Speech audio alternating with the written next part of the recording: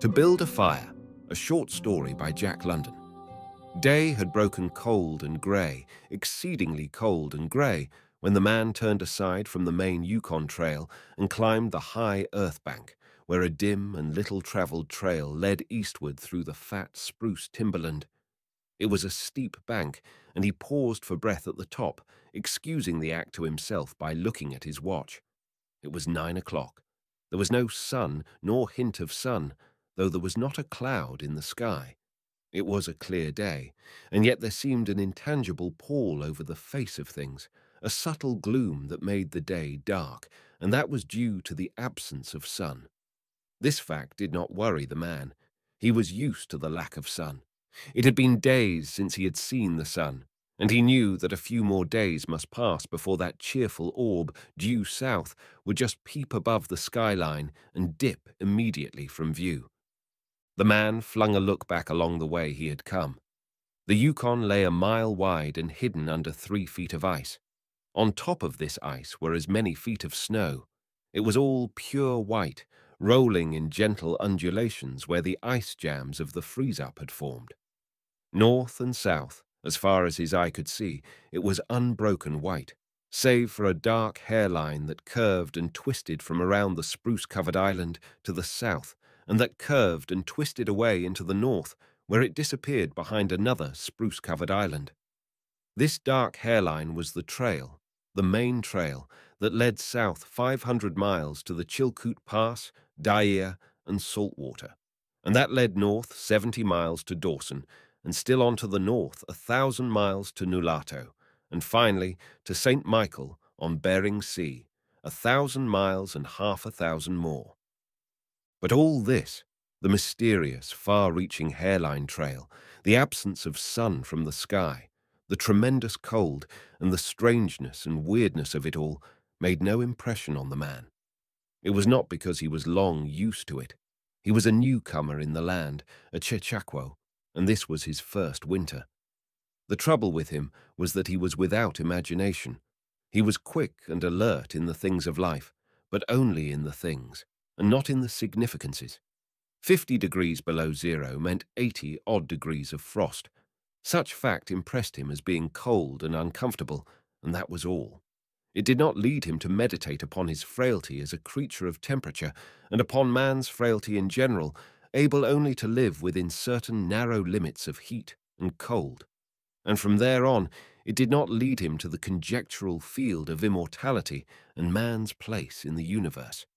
Fifty degrees below zero stood for a bite of frost that hurt and that must be guarded against by the use of mittens, ear flaps, warm moccasins, and thick socks.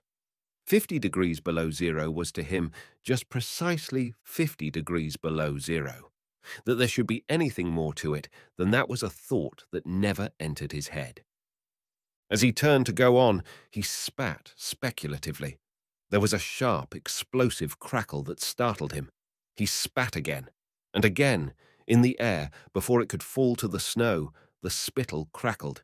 He knew that at fifty below spittle crackled on the snow, but this spittle had crackled in the air. Undoubtedly it was colder than fifty below. How much colder he did not know. But the temperature did not matter. He was bound for the old claim on the left fork of Henderson Creek, where the boys were already. They had come over across the divide from the Indian Creek country, while he had come the roundabout way to take a look at the possibilities of getting out logs in the spring from the islands in the Yukon. He would be into camp by six o'clock. A bit after dark, it was true, but the boys would be there, a fire would be going, and a hot supper would be ready. As for lunch, he pressed his hand against the protruding bundle under his jacket. It was also under his shirt, wrapped up in a handkerchief and lying against the naked skin. It was the only way to keep the biscuits from freezing. He smiled agreeably to himself as he thought of those biscuits, each cut open and sopped in bacon grease, and each enclosing a generous slice of fried bacon.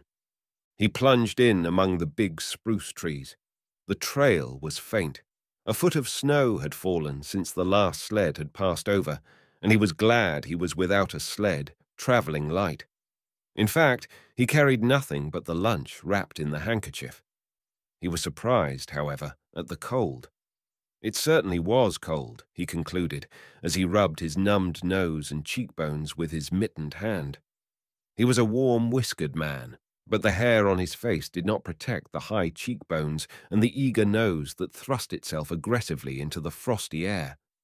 At the man's heels trotted a dog, a big native husky, the proper wolf dog, grey-coated and without any visible or temperamental difference from its brother, the wild wolf. The animal was depressed by the tremendous cold. It knew that it was no time for travelling. Its instinct told it a truer tale than was told to the man by the man's judgment. In reality, it was not merely colder than 50 below zero. It was colder than 60 below, than 70 below. It was 75 below zero. Since the freezing point is 32 above zero, it meant that 107 degrees of frost obtained. The dog did not know anything about thermometers. Possibly in its brain there was no sharp consciousness of a condition of very cold, such as was in the man's brain. But the brute had its instinct. It experienced a vague but menacing apprehension that subdued it and made it slink along at the man's heels, and that made it question eagerly every unwonted movement of the man as if expecting him to go into camp or to seek shelter somewhere and build a fire. The dog had learned fire, and it wanted fire, or else to burrow under the snow and cuddle its warmth away from the air. The frozen moisture of its breathing had settled on its fur in a fine powder of frost, and especially were its jowls, muzzle, and eyelashes whitened by its crystalled breath. The man's red beard and moustache were likewise frosted, but more solidly, the deposit taking the form of ice and increasing with every warm, moist breath he exhaled. Also, the man was chewing tobacco, and the muzzle of ice held his lips so rigidly that he was unable to clear his chin when he expelled the juice. The result was that a crystal beard of the colour and solidity of amber was increasing its length on his chin. If he fell down, it would shatter itself, like glass, into brittle fragments. But he did not mind the appendage. It was the penalty all tobacco chewers paid in that country, and he had been out before in two cold snaps. They had not been so cold as this, he knew, but by the spirit thermometer at 60 mile, he knew they had been registered at 50 below and at 55. He held on through the level stretch of woods for several miles, crossed a wide flat of niggerheads, and dropped down a bank to the frozen bed of a small stream. This was Henderson Creek, and he knew he was ten miles from the Forks. He looked at his watch. It was ten o'clock. He was making four miles an hour, and he calculated that he would arrive at the Forks at half past twelve. He decided to celebrate that event by eating his lunch there. The dog dropped in again at his heels, with a tail drooping discouragement as the man swung along the creek bed. The furrow of the old sled trail was plainly visible, but a dozen inches of snow covered the marks of the last runners. In a month, no man had come up or down that silent creek. The man held steadily on. He was not much given to thinking, and just then particularly he had nothing to think about, save that he would eat lunch at the Forks and that at six o'clock he would be in camp with the boys. There was nobody to talk to, and, had there been, speech would have been impossible because of the ice muzzle on his mouth so he continued monotonously to chew tobacco and to increase the length of his amber beard. Once in a while, the thought reiterated itself that it was very cold and that he had never experienced such cold. As he walked along, he rubbed his cheekbones and nose with the back of his mittened hand. He did this automatically, now and again changing hands. But rub as he would, the instant he stopped his cheekbones went numb, and the following instant the end of his nose went numb. He was sure to frost his cheeks. He knew that, and experienced a pang of regret that he had not devised a nose strap of the sort Bud wore in cold snaps. Such a strap passed across the cheeks as well and saved them. But it didn't matter much after all. What were frosted cheeks? A bit painful, that was all. They were never serious.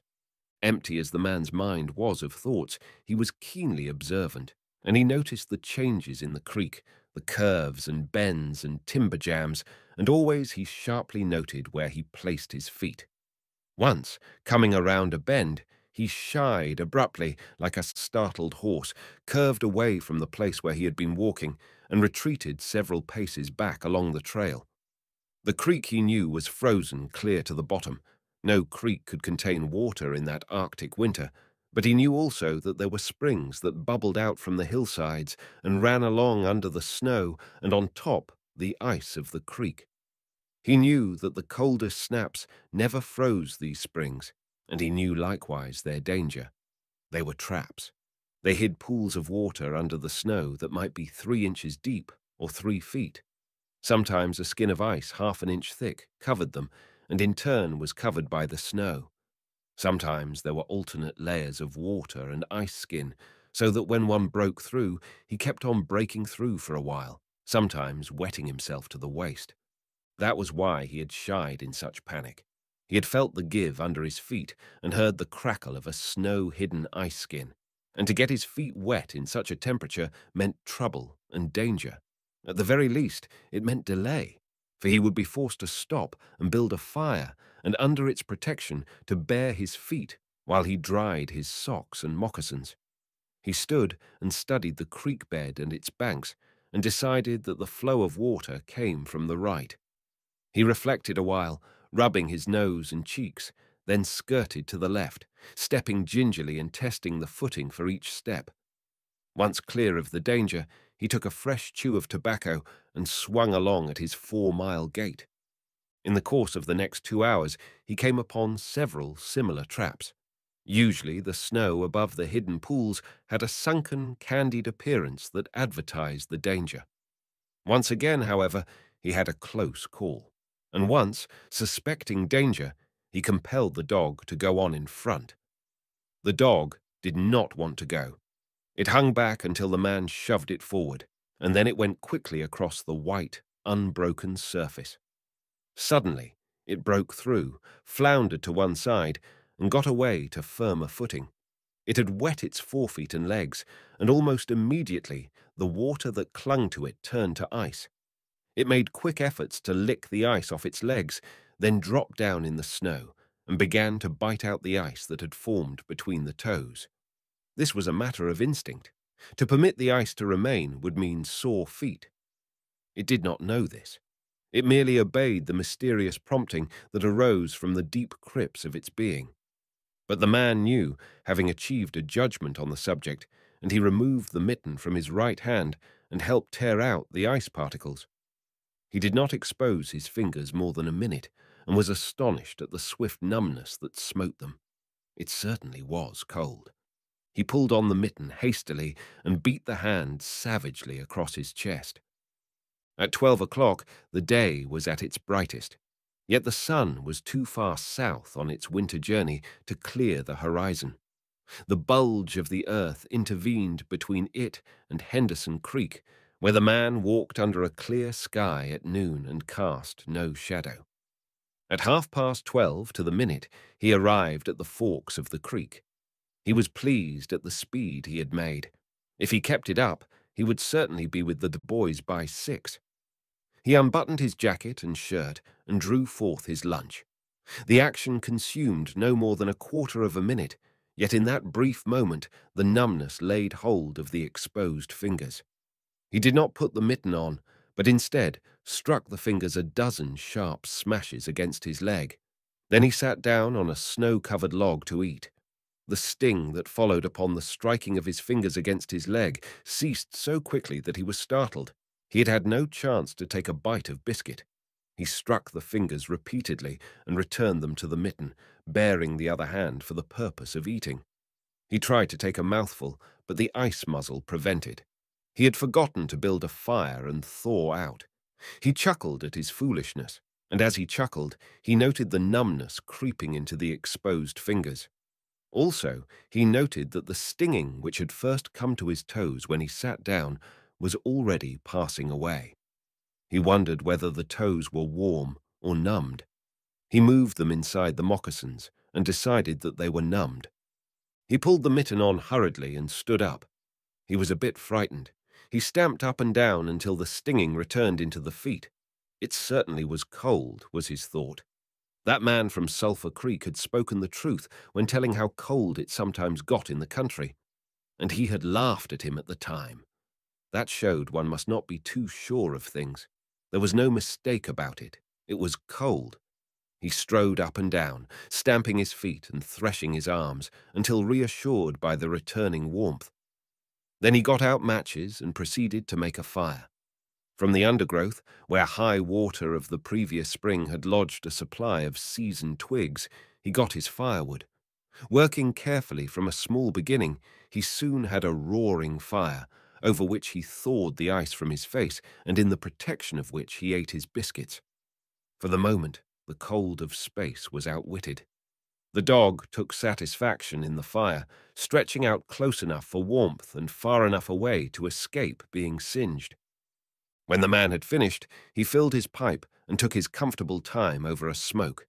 Then he pulled on his mittens, settled the ear flaps of his cap firmly about his ears, and took the creek trail up the left fork. The dog was disappointed and yearned back toward the fire. This man did not know cold. Possibly all the generations of his ancestry had been ignorant of cold, of real cold, of cold 107 degrees below freezing point.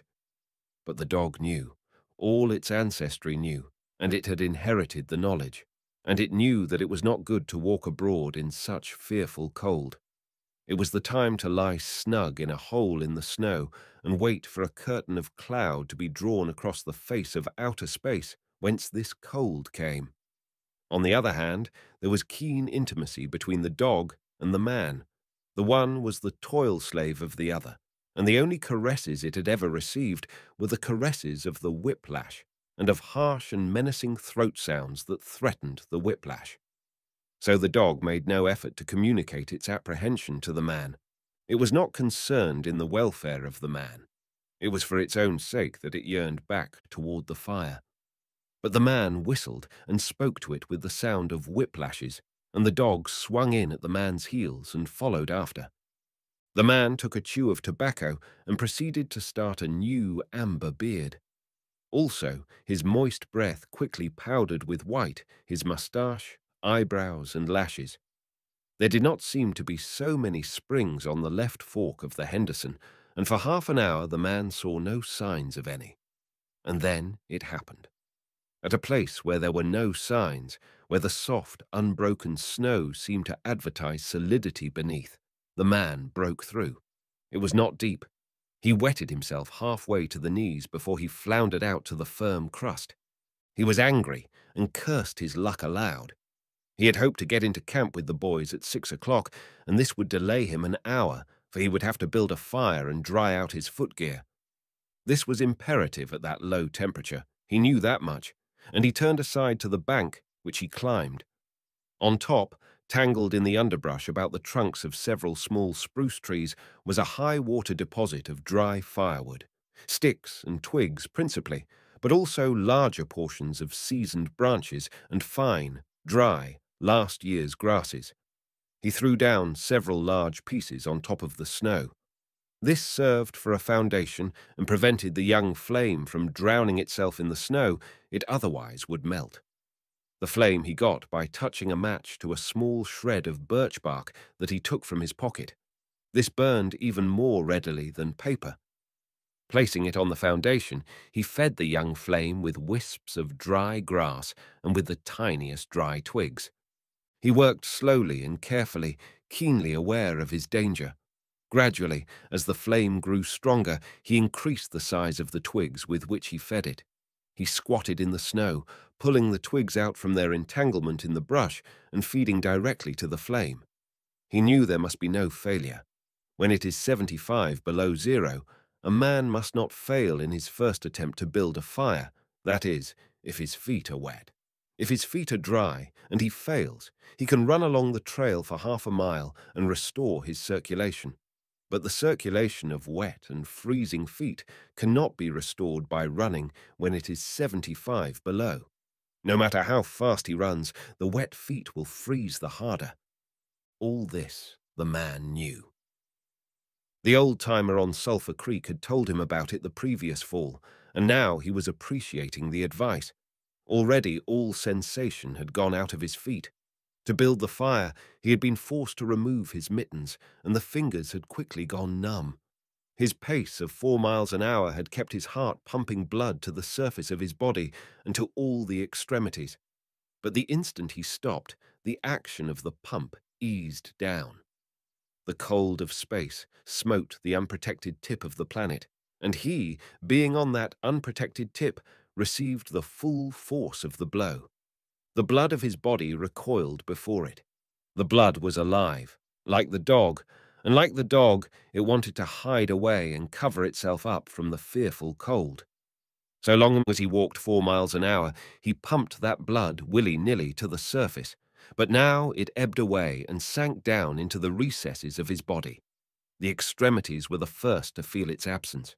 His wet feet froze the faster, and his exposed fingers numbed the faster, though they had not yet begun to freeze. Nose and cheeks were already freezing, while the skin of all his body chilled as it lost its blood. But he was safe. Toes and nose and cheeks would be only touched by the frost, for the fire was beginning to burn with strength. He was feeding it with twigs the size of his finger. In another minute, he would be able to feed it with branches the size of his wrist, and then he could remove his wet footgear, and while it dried, he could keep his naked feet warm by the fire rubbing them at first, of course, with snow. The fire was a success. He was safe. He remembered the advice of the old-timer on Sulphur Creek and smiled. The old-timer had been very serious in laying down the law that no man must travel alone in the Klondike after fifty below. Well, here he was. He had had the accident. He was alone, and he had saved himself. Those old-timers were rather womanish, some of them, he thought. All a man had to do was to keep his head, and he was all right. Any man who was a man could travel alone. But it was surprising, the rapidity with which his cheeks and nose were freezing, and he had not thought his fingers could go lifeless in so short a time. Lifeless they were, for he could scarcely make them move together to grip a twig, and they seemed remote from his body and from him. When he touched a twig, he had to look and see whether or not he had hold of it. The wires were pretty well down between him and his finger ends, all of which counted for little. There was the fire, snapping and crackling and promising life with every dancing flame. He started to untie his moccasins. They were coated with ice. The thick German socks were like sheaths of iron halfway to the knees, and the moccasin strings were like rods of steel, all twisted and knotted as by some conflagration. For a moment, he tugged with his numbed fingers. Then, realizing the folly of it, he drew his sheath knife. But before he could cut the strings, it happened. It was his own fault, or rather, his mistake. He should not have built the fire under the spruce tree. He should have built it in the open. But it had been easier to pull the twigs from the brush and drop them directly on the fire. Now, the tree under which he had done this carried a weight of snow on its boughs, no wind had blown for weeks, and each bough was fully freighted. Each time he had pulled a twig, he had communicated a slight agitation to the tree, an imperceptible agitation, so far as he was concerned, but an agitation sufficient to bring about the disaster. High up in the tree, one bough capsized its load of snow. This fell on the boughs beneath, capsizing them. This process continued, spreading out and involving the whole tree. It grew like an avalanche, and it descended without warning upon the man and the fire, and the fire was blotted out. Where it had burned was a mantle of fresh and disordered snow. The man was shocked. It was as though he had just heard his own sentence of death. For a moment he sat and stared at the spot where the fire had been. Then he grew very calm. Perhaps the old-timer on Sulphur Creek was right. If he had only had a trail mate, he would have been in no danger now. The trailmate could have built the fire. Well, it was up to him to build the fire over again, and this second time there must be no failure. Even if he succeeded, he would most likely lose some toes. His feet must be badly frozen by now, and there would be some time before the second fire was ready. Such were his thoughts, but he did not sit and think them. He was busy all the time they were passing through his mind, he made a new foundation for a fire, this time in the open, where no treacherous tree could blot it out. Next, he gathered dry grasses and tiny twigs from the high water flotsam. He could not bring his fingers together to pull them out, but he was able to gather them by the handful. In this way, he got many rotten twigs and bits of green moss that were undesirable, but it was the best he could do. He worked methodically, even collecting an armful of the larger branches to be used later when the fire gathered strength. And all the while the dog sat and watched him, a certain yearning wistfulness in its eyes, for it looked upon him as the fire provider, and the fire was slow in coming. When all was ready, the man reached in his pocket for a second piece of birch bark. He knew the bark was there, and though he could not feel it with his fingers, he could hear its crisp rustling as he fumbled for it. Try as he would, he could not clutch hold of it. And all the time, in his consciousness, was the knowledge that each instant his feet were freezing. This thought tended to put him in a panic, but he fought against it and kept calm.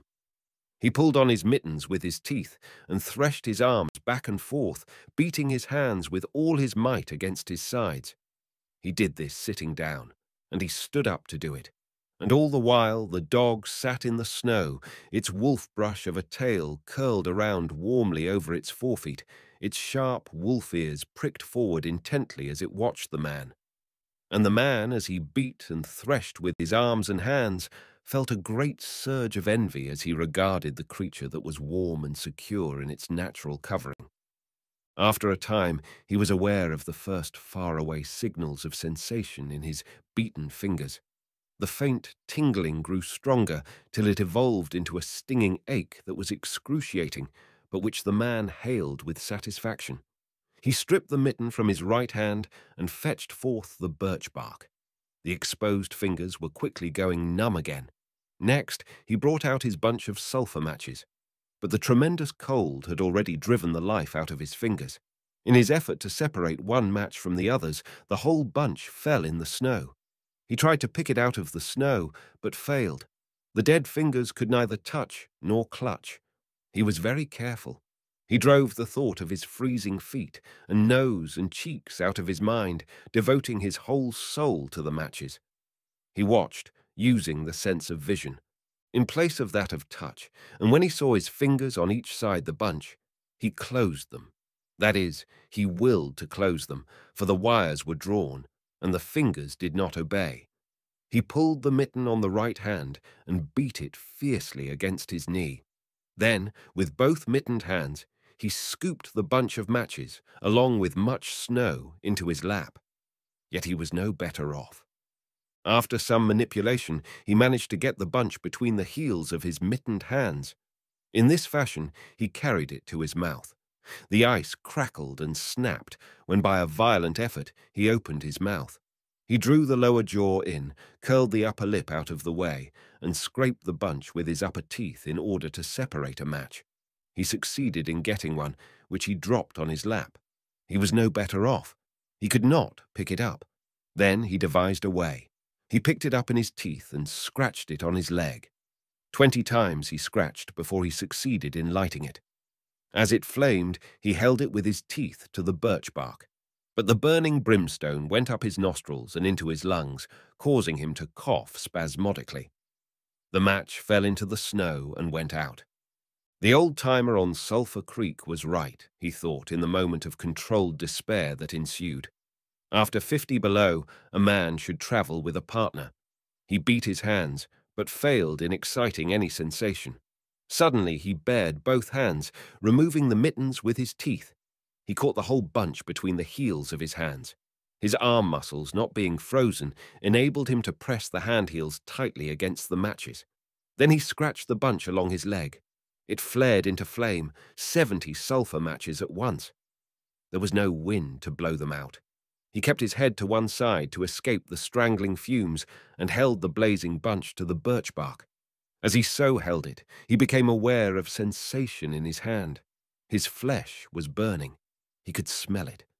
Deep down below the surface, he could feel it. The sensation developed into pain that grew acute.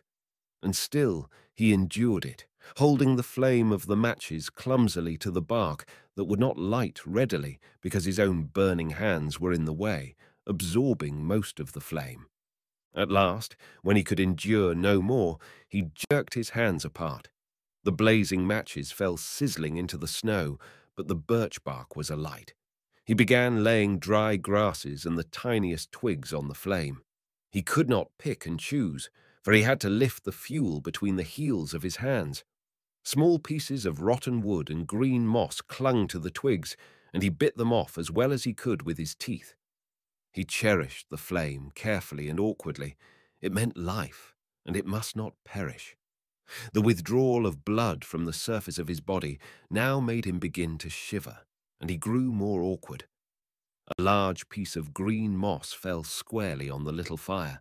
He tried to poke it out with his fingers, but his shivering frame made him poke too far, and he disrupted the nucleus of the little fire, the burning grasses and tiny twigs separating and scattering.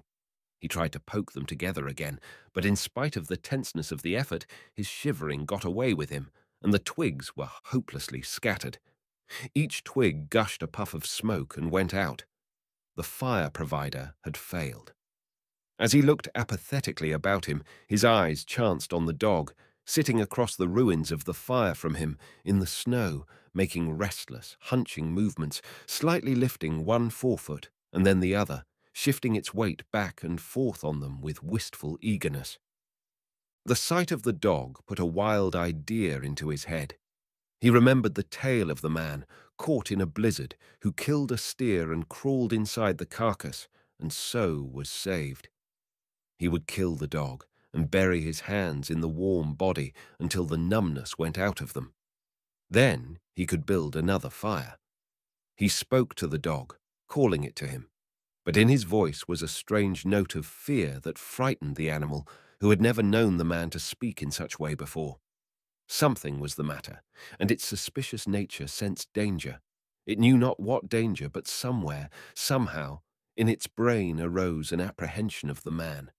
It flattened its ears down at the sound of the man's voice, and its restless, hunching movements and the liftings and shiftings of its forefeet became more pronounced, but it would not come to the man.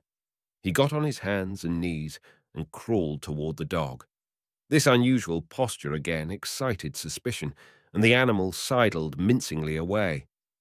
The man sat up in the snow for a moment and struggled for calmness.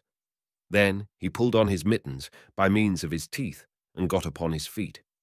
He glanced down at first in order to assure himself that he was really standing up, for the absence of sensation in his feet left him unrelated to the earth.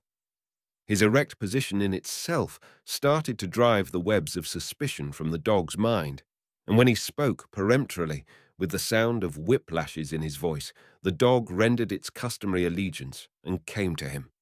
As it came within reaching distance, the man lost his control.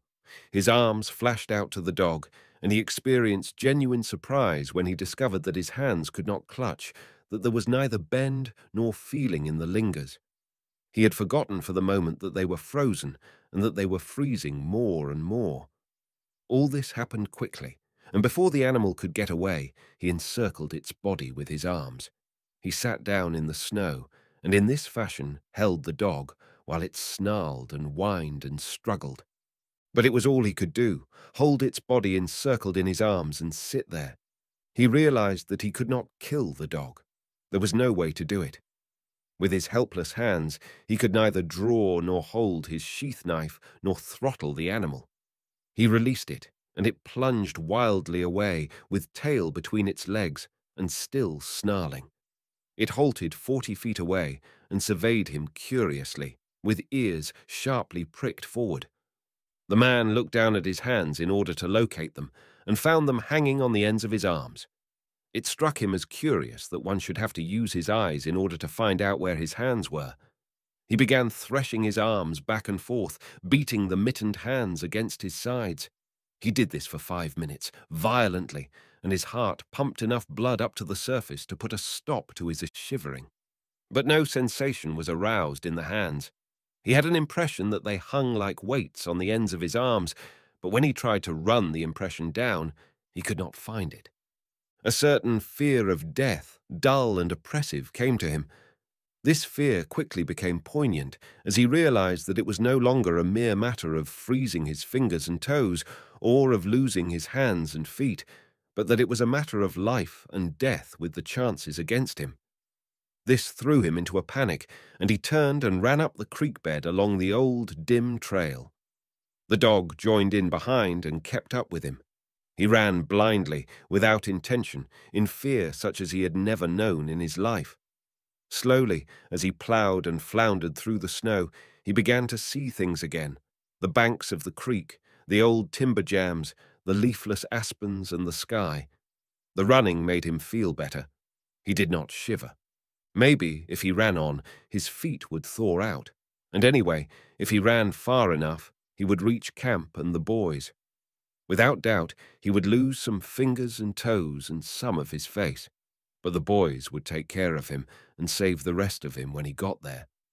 And at the same time, there was another thought in his mind that said he would never get to the camp and the boys, that it was too many miles away, that the freezing had too great a start on him, and that he would soon be stiff and dead.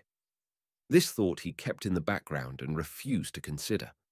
Sometimes it pushed itself forward and demanded to be heard, but he thrust it back and strove to think of other things.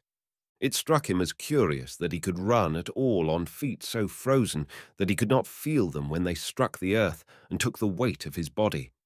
He seemed to himself to skim along above the surface and to have no connection with the earth.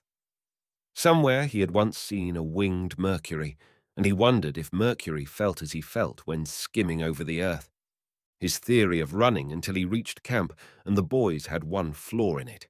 He lacked the endurance.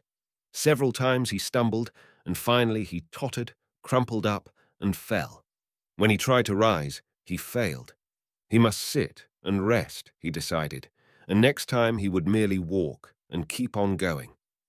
As he sat and regained his breath, he noted that he was feeling quite warm and comfortable. He was not shivering, and it even seemed that a warm glow had come to his chest and trunk.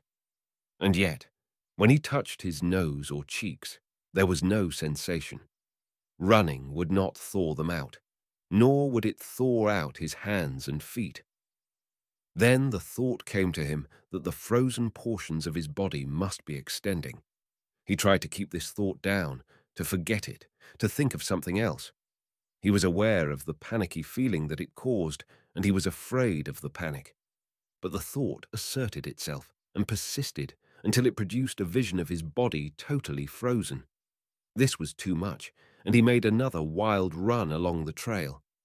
Once he slowed down to a walk, but the thought of the freezing extending itself made him run again, and all the time the dog ran with him, at his heels. When he fell down a second time, it curled its tail over its forefeet and sat in front of him, facing him curiously eager and intent. The warmth and security of the animal angered him, and he cursed it till it flattened down its ears appeasingly. This time the shivering came more quickly upon the man. He was losing in his battle with the frost. It was creeping into his body from all sides. The thought of it drove him on, but he ran no more than a hundred feet when he staggered and pitched headlong. It was his last panic. When he had recovered his breath and control, he sat up and entertained in his mind the conception of meeting death with dignity. However, the conception did not come to him in such terms. His idea of it was that he had been making a fool of himself, running around like a chicken with its head cut off. Such was the simile that occurred to him. Well, he was bound to freeze anyway, and he might as well take it decently. With this newfound peace of mind came the first glimmerings of drowsiness. A good idea, he thought, to sleep off to death. It was like taking an anesthetic. Freezing was not so bad as people thought. There were lots worse ways to die. He pictured the boys finding his body next day. Suddenly, he found himself with them, coming along the trail and looking for himself. And still with them, he came around a turn in the trail and found himself lying in the snow. He did not belong with himself any more, for even then he was out of himself, standing with the boys and looking at himself in the snow. It certainly was cold, was his thought.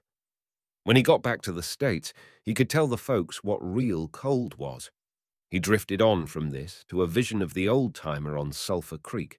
He could see him quite clearly, warm and comfortable, and smoking a pipe. You were right, old hoss. You were right, the man mumbled to the old-timer of Sulphur Creek. Then the man drowsed off into what seemed to him the most comfortable and satisfying sleep he had ever known. The dog sat facing him and waiting. The brief day drew to a close in a long, slow twilight. There were no signs of a fire to be made, and besides, never in the dog's experience had it known a man to sit like that in the snow and make no fire.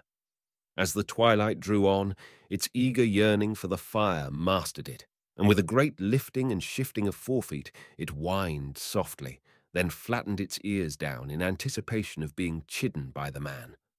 But the man remained silent. Later, the dog whined loudly, and still later, it crept close to the man and caught the scent of death. This made the animal bristle and back away. A little longer it delayed, howling under the stars that leaped and danced and shone brightly in the cold sky. Then it turned and trotted up the trail in the direction of the camp it knew, where were the other food providers and fire providers.